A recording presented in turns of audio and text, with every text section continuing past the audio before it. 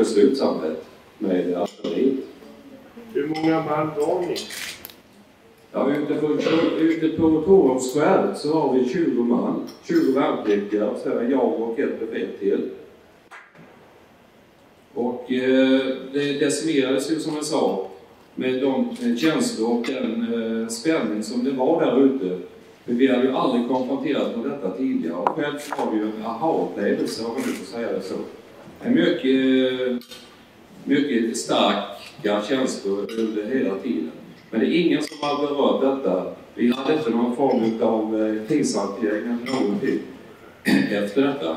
Det var ju kanske omodernt. Mm. Alltså det fanns det här med, som kallas för debriefing idag som man använder sådana här Ja, det var ju så nya situationer överhuvudtaget, både hos oss eh, så att säga, och våra chefer, så att man hade fullt upp att lösa den här uppgiften. Och man glömde väl oftast bort personalen även då. Hur eh, intressant det är hur man kan komma till två helt motsatta slutsatser utav ett skeende. Det som gör hans position så stark och det som gör att så många människor tar till sig av hans uppfattning, det är att han i svenska folkets ögon är ubåtskalle. Han var den första som kom ombord. Han har varit nere i ubåten. Han har pratat med folk. Jag har aldrig varit nere i den ubåten. Min, min roll var att som 36-årig, ganska nybliven fartygschef på en torpedbåt finnas i Stockholm och eh, ligga på Gålö när vi fick det här beskedet. Sovjetisk ubåt på grund i Karlskrona skärgård. Jag vet inte vad ni upplevde, men jag upplevde att detta var oerhört dramatiskt. Alltså, här hade inte vi en aning om vad som sen skulle hända.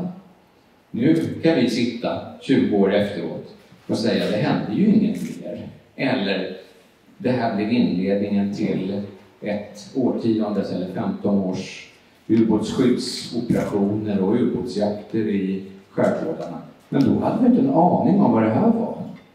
Min egen reaktion kommer jag inte riktigt ihåg, men jag kan mycket väl tänka mig att jag tänkte så här, är detta inledningen på en invasion? Alltså jag har utbildat mig hela livet för att se till att inte Sverige ska bli invaderat. Och här står man i en situation där man möjligen ser de första tecknen till detta. Jag har läst militärhistoria. Jag vet att japanerna gjorde inträngningar i Pearl Harbor med miniubåtar som var deras första försök att åstadkomma en marin del i resten av flygoperationerna mot Pearl Harbor.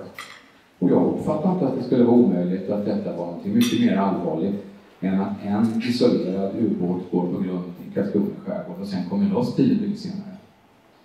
Men det här drar väldigt långt ut på tiden. Jag ska svara på din fråga. Jag förbehåller mig rätten att påstå att officerare aldrig har samma uppfattning som någon annan bara för att de är officerare. På samma sätt som advokater knappast kan beskyllas för att tycka som andra advokater bara för att de är advokater. Var och en av oss behåller sin rätt och frihet att tycka som man själv vill och dra slutsatser. Mina slutsatser drar jag mot bakgrund av att ha dels varit ganska intensivt med i det som hände då för 20 år sedan, dels för förmånen att jobba med Tom här och ordningställa underlaget in, eh, en del i den här utställningen. Jag närmade mig Tom för att jag tycker att marinen har varit väldigt dålig på att försöka förklara i pedagogiska termer vad ubåten kunde tänkas ha velat göra inne på Gåsefjärden. Alltså i den mycket upphetsade debatt som var då så eh, förekom det många massmediala bilder som jag reagerade våldsamt mot. Där förekom Maj, eh, Wechselmann Wechselman som påstod att ubåten under inga omständigheter kunde vända inne på Gåsefjärden. Det är en, ett av de argument som jag använt som motiv till att vara med och försöka visa pedagogiskt hur stor är Gåsefjärden? Hur djupt är det där? Hur stor är ubåten?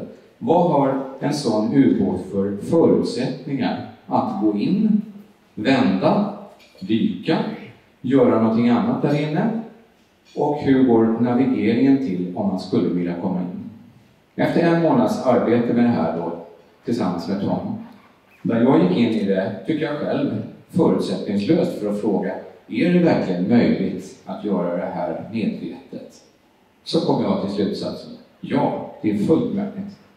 Hade jag fått som Gustjin order ifrån Baltisk att visa att jag kunde navigera in i svensk skärgård. Och jag visste att jag efteråt skulle bli belönad med att få ett högre befäl, så skulle jag åtagit mig att göra det under de omständigheter som rådde, som rådde då.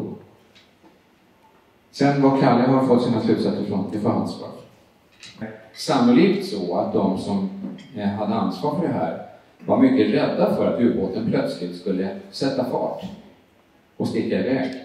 Och därför var boxeringsarrangemangen gjorda så att man säkerställd från svensk sida att förstäven på ubåten hölls hela tiden in mot Gåsefjärden och sen så drog man in ubåten och sen la man den till ankar och bojar inne på mitten av Gåsefjärden.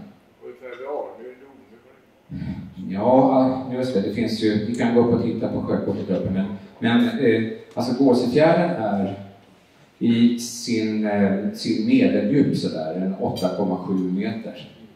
Det är en ganska flatt botten. Jag har jämfört med mycket specialiserade sjökort, de bästa som vi har. Och det du ser i normalt sjökort, det stämmer bra med verkligheten. Det är bara det att man har tagit bort en massa siffror för att det ska göra det läsbart. Eh, ubåten kan inte dyka och dölja hela sig. Om den lägger sig på botten någonstans där inne så syns någonting utav den. Och från kölstråket och upp till tornkammen så är ubåten 12 meter. 12 meter. Så att ungefär 4 meter skulle sticka upp, 3-4 meter skulle sticka upp över vattenytan. Hela ubåten, när den ligger i ytläge, är 76 meter lång. Om man lägger den på botten så får du kvar en längd på tornet som kanske är 10 meter, 10 gånger 3. Jag bara ställer mig frågan, skulle någon som kommer i nattens mörker och råkar komma i närheten av en ubåt som skulle råka ligga på botten, skulle de direkt då säga så här, här ligger en sovjetisk ubåt. För mig är svaret självklart att ingen skulle bry sig. Det du skulle se är kanske lanternor. Var du tillräckligt nyfiken så skulle du kunna gå i närheten och då skulle du uppfatta att det ser ut som en båt. Här ligger en fiskebåt eller vad som helst. Och därför så är det ju inte uteslutet att fartygschefen skulle ha haft som idé att gå in på Gåsefjärden, lägga sig på botten, väl medveten om att tornet fortfarande stack upp. Men det är bara en spekulation, det vet jag inte. Han kan mycket väl ha tänkt sig att fortsätta i övervattensläge hela tiden. Vad han har gjort alltså, enligt mitt sätt att se det, det är att han har valt att gå i övervattensläge för att gå in. Och det, som du säger då, så finns det några grundklackar i inloppet där som är ungefär 6 meter. Ubåtens normala djupgående är 5 meter om den ligger i helt övervattensläge. Går han alltså i övervattensläge så slipper han en massa problem i själva inloppet. Och sen så förstår inte jag varför han skulle nödvändigtvis vilja dyka när han kom in, utan han kan mycket väl ha tänkt sig att fortsätta att finnas i övervattensläge hela tiden. Det är natt, det är kolsvart. Han ska gå in, han ska visa den kommendör som finns ombord, alltså Avsocevich, att han kan köra in. Och sen vänder han och så går han ut. Eller också har han en utomordentligt god träning i GRU, eller det kan vara han tränat någonstans. Förmodligen är det det. För han hävdar ju med bestämdhet att det är en oavsiktlig inträngning. De hade kommit vilse på Östersjön. Icke lite utan noga bestämt 56,3 sjömil, vilket är en betydande, betydande distans. Och det är väl i det här fältet då som eh, en sån här, att, att den här saken inte är lagt i handlingarna beror just på detta här att det finns oerhört kompetent folk som Mats Lindeman och Carl Andersson som har en olika bedömning på det. Det finns en rysk förklaringsmodell som inte är övertygande. Det finns ju några andra händelser under 80-talet som också inte har fått en klarhet. Jag tänker till exempel på Palmemordet. Delvis Estonia också som kommer senare. Där man har haft olika förklaringar på varför detta händer. Och man får inte presenterat en förklaring som är övertygande för allmänheten. Och så länge man inte får det så kommer detta att diskuteras, tror jag, väldigt länge nu. Och det enda som kan klara ut det här är ju att det kommer fram ett nytt material som övertygar folk om vad som egentligen har hänt. Och jag har fått den frågan i någon tidningsintervju där jag har sagt att kommer det fram ett sådant material så ska vi genast komplettera utställningen. Det visade sig att det meddelandet som jag fick var en beredskapsorder, övningsorder ifrån militärbefälhavaren i Kristianstad. Sven-Otto Olsson nämnde det vid invigningen här uppe lite i förbigående och det är ju typiskt oss militärer, vi nämner en sak sådär i förbigående som vi militärer förstår vad det innebär men kanske inte alla övriga begriper det. Det innebar alltså att jag fick inställa mig till örlogsbasen, ta del av meddelandet och dra igång en beredskapsstyrka som bland annat omfattade minutläggaren som skulle gå till Skåne och utföra, utföra vissa uppdrag där nere. När sedan eh, larmet kom om ubåten som låg i östra skärgården så innebar det ju att minutläggaren som lastade på Kungsholmen skulle gå västerut och sedan kom det då en uppgift att det ligger en ubåt i östra skärgården, alltså öster om Karlskrona. Så var ju den första reaktionen, är detta någonting ytterligare som ingår i den beredskapsövning som militärbefälhavaren har dragit på? Och därav förklarar ju viss av den försiktighet som inträder på morgonen. Hur ska man nu tackla det här problemet i förhållande till den uppgift vi har fått och till det som vi då betraktade som ett störmoment i själva beredskapsövningen. Kalle Andersson åkte ut och eh, klargjorde då att det var verklig ubåt, sovjetisk, och eh, beredskapsövningen avblåstes och de, den minutläggaren omdirigerades till eh, eh, Gåsefjärden och förtöjde vid Killeberget. Som vakthavande befäl fick jag då på morgonen, eh, på förmiddagen, order att åka ut till Killeberget och där börja organisera verksamheten på land och svara för då uppbyggnaden av och mottagningen av de styrkorna som bland annat Birger Bergen nämnde här. Jag tillbringade sex utav de tio dygnen ute på Killeberget i eh, tvådygnspass. Det är, ju, det är ju en fantastisk tillfällighet detta att här alltså här görs en beredskapsövning samma dag som det här inträffar. Men eh, hur ofta hade ni de här beredskapsövningarna? Inte speciellt ofta. Det kanske av den här typen kanske en gång om året eller motsvarande. Fantastiskt tillfälle. Och eh, det kanske förklarar också en del av den här bilden som byggdes upp kring det här inledningsvis, att eh, det var en beredskapsövning. Eh, tiden där ute sen så inträffade det väldigt många saker som eh, både stora och små. Jag vill kanske här också speciellt nämna då alla de värnpliktiga som kom ut och eh, gjorde väldigt fina insatser där ute. Själva tiden som ubåten var där eh, Förr för var ju också över allhelgonahelgen och eh, flera av de här värnpliktiga som fick eh, uppgiften att vara där då, de fick alltså ringa hem ifrån Killeberget och tala om att de inte kunde komma. Vi drog in deras permissioner för att vi behövde dem där. Och de eh, gjorde det här utan att, så att säga, på något sätt klara eller tycka att de skulle få åka hem till, och avbryta det de hade planerat för Allhelgonahelgen. Så de gjorde en väldigt fin insats i alla de här värnpliktiga.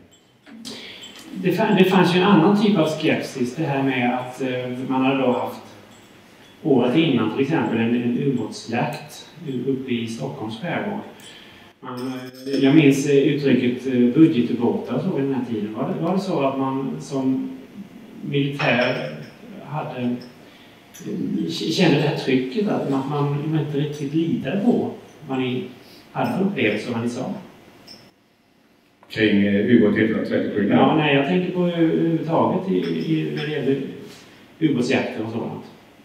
Nej, jag, som jag upplevde det, detta var ju det enda tillfället som jag var med på att sen eh, eh, fick jag tjänstgöring i Stockholm så att jag var inte inblandad i de övriga ubåtsjakterna, varken här eller i Stockholmsområdet.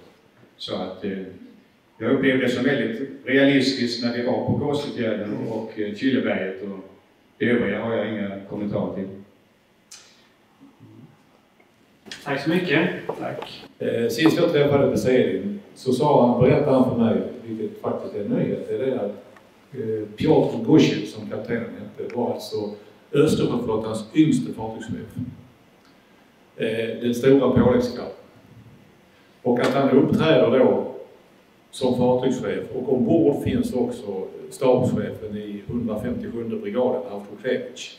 Betyder och det antyder faktiskt Besedin, alltså den politiska officeren ombord, antyder ju att detta var inget normalt uppdrag. Det, han säger inte det rakt ut men han, han glider på det och som sagt antyder detta. Dessutom beklagar han sig.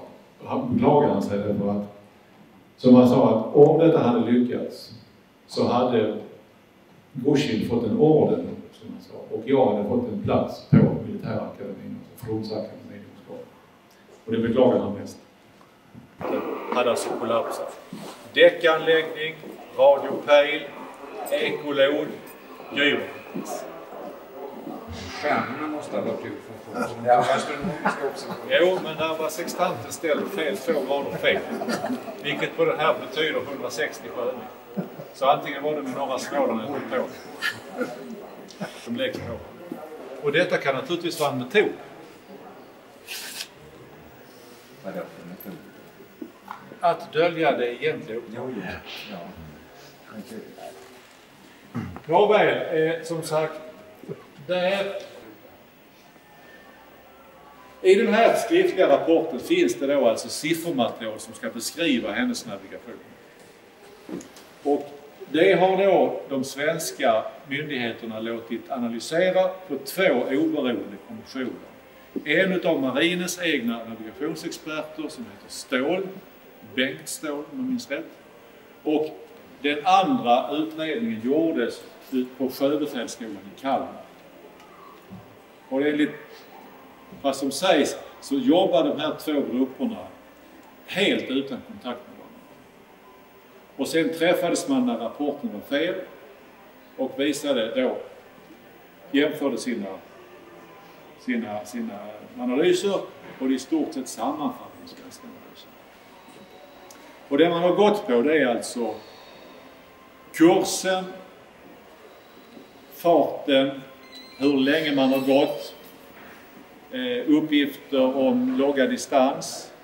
Man har också uppgifter om varvtal i maskin ombord på ubåten. Och när detta sammanförs så skulle man ju få en, en bild som så att säga rent matematiskt ska stämma. Men så det gör den inte. Därför att från position A med en viss styrd kurs under en viss tid ska då ge position B. Och då anger ryssarna position B, men alltså det stämmer inte om man räknar ut det här. Så det är alltså så oerhört felaktigt, va, som de rimligtvis måste ha förstått att svenska experter skulle genomskåda. Jag tycker det är en ren förolämpning mot Sverige. Och då har man gjort så här att då har man stämmer alltså med ryssarnas angivelser att de går upp i ytläge och, och, och eller går upp i per- periskopdjup och har alltså fullt möjligheter att Eh, bestämma var man är någonstans i förhållande till fyrarna. Eh, både på Christians, eh, på Bornholm och sen då eh, eh, Ljusborgen vid Långan. Dessutom menar man från svensk sida att de har alltså legat i den stora farleden här med massor med sjötrafik som rimligtvis borde ha gett dem uppgifter om att de har fel. Men det är det som sagt, det, köper, man- det vill man liksom inte riktigt eh, acceptera. Till Paldiski i eh, Estland den, och man skulle vara där den 5 november. Det var alltså en väldigt lång expedition. man hade. Det här är inget lätt material och eh, det kräver lite eftertanke för att, för att klara ut detta. här. Men helt klart är det att eh, det, det, det, är alltså, det siffermaterial som är överlämnat är, är inte korrekt, så alldeles klart som du säger. Det man har raderat i loggböcker kan slås plötsligt ut. Sen kan vi gå bort till den här sidan och där ryssarna har alltså inte, de anger en viss fart ombord på ubåten men det stämmer alltså inte med angivet varvtal. Så att siffrorna hänger liksom inte ihop som de borde göra i ett sånt här material ett visst varvtal ger en viss fart och då ska det stämma, men det gör det alltså. Så det här är, detta är dunkelt och detta är utlagt dimridåer och eh, alltså på ett så systematiskt sätt så man kan inte undgå att bli imponerad. det stämde inte med den överenskommelse man hade om att få titta på navigationsutrustningen. Det finns alltså enligt mitt sätt att se det inget som hindrar att man hade en väl fungerande radar och det är heller ingen av ryssarna som har förnekat. Däremot har de sagt att de fick inte använda den på order hemifrån för då skulle man röja sig när man befann sig i ett företag ute till sjöss. Det kan jag också acceptera, men om man befinner sig i en nödsituation där man inte har en aning om var man är och man gör stora ansträngningar att försöka fastlägga var man är. Det är klart att man tänder sin radar. Om man har som uppdrag att tränga in i svensk skärgård i nattens mörker så tänder man sin radar. Jag har alltså också jämfört med mycket detaljerade sjömätningar i hela det här området. Det finns inga grund någonstans som inte finns med i det här. Alltså, du kan i en vanlig svensk bokhandel köpa ett perfekt sjökort för att navigera in här. Vill du ha en annan variant så köper du gröna kartan som också ger möjlighet att navigera på öarna. Och det är precis samma djupinformation där också. Här kan ni alltså jämföra själva. Det ni inte kan se och det som jag har bett högkvarteret att jag skulle få offentliggöra det är militärledsystemet. Mellan Karlskrona och Västervik finns det ett ställe där vi har militärleder som leder in i ett skärgårdsområde. Det är här. Här går en, en militärled rätt in mot Torenskär. Här viker den av 20 grader och här viker den av 10 grader. Och sen är man inne på det här. De ser ni här på den här bilden. Som leder in ifrån Fritt till sjöss förbi Flisan. Sen när man girar på rätt ställe här så tar man in ett aktermärke som står på flaggskärm. Och det, var, det är svårt att se, särskilt i natten, på natten. Men vi har alltså möjlighet att sätta upp lampor där och lampor där och lampor här inne på Svennön. Och så blir det en perfekt mörkerled. Dagerleden, den kan vem som helst se. Det är bara att åka ut dit. Den är mycket klara ut det här. Men man har gått i vårt militärledssystem. Jag har själv stått där för att fastställa exakt var någonstans ubåten stod på grund. Om man går svenska leden och girar för sent så hamnar man där, där ubåten stod på grund. Det kan ni se själva. Här är en bild som Säkerhetspolisen tog första dagarna. Den är exakt samma här, alltså du går in där, girar för sent och då står ubåten precis här. Jämförbara bilder. För mig är det fullständigt obegripligt att en ubåt kan komma till en sista stund lika gärna kunnat gira åt styrbord.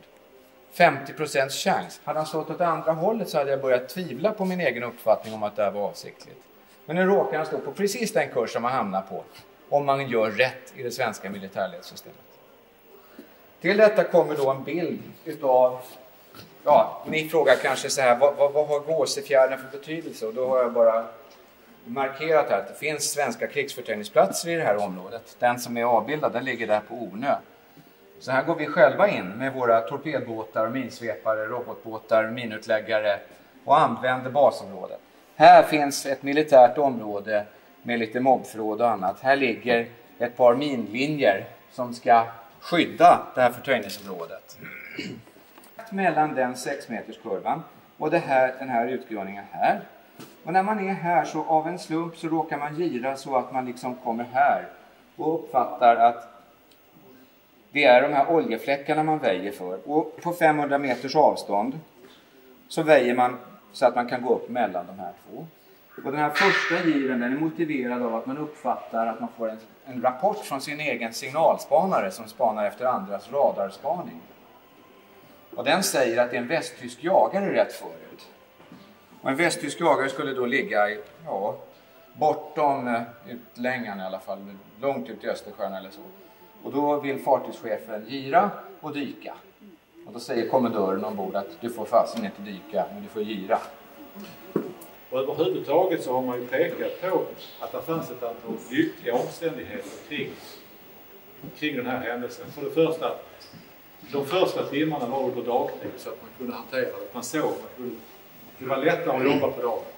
Det andra var ju att det satt ju faktiskt på utrikesdepartementet en särskild krisgrupp som hade suttit och diskuterat med varandra i ett antal veckor och bakgrunden till deras diskussioner var att, som ni kanske kommer ihåg, att situationen i Polen var ju väldigt ansträngd. Eh, Jaruzelski eh, försökte då hålla ordning på solidaritetsrörelsen och man var ju rädd för att ryssarna skulle gå in i Polen. Och då hade man på svensk sida, svenska myndigheter, satt samman en krisgrupp som skulle hantera frågan om man fick jättelika polska flyktingbåtar. Så det fanns ett antal människor med beslutskraft och beslutskompetens som så att säga kände varandra, som träffades och som plötsligt då bara kunde byta dagordning. Och diskutera det. Rolf Steffensson har ju sammanfattat det här i en liten bok som heter Krishantering, som är, är mycket Man måste ta det. Så långt att när det smäller så börjar ubåtarna själva. Man kan inte skjuta från en farfar. Man kan inte skjuta Alltså skulle kärnvapen få ett hot mot oss så skulle det tvingas liksom, typ. ja, det skulle